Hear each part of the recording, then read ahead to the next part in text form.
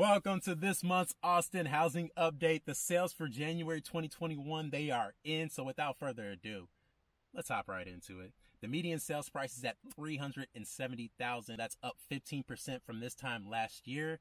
And the supply of homes right now is at 0.9 months. That's right. 0.9, not 1.9, 0.9 months right now. That's down 53% from this time last year. And mortgage applications actually shot up to about 17%.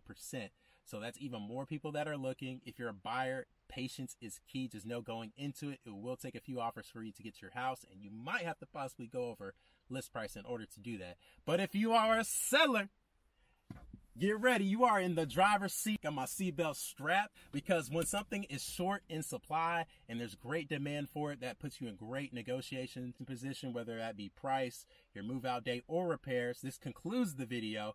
Like, comment, share. Evan out.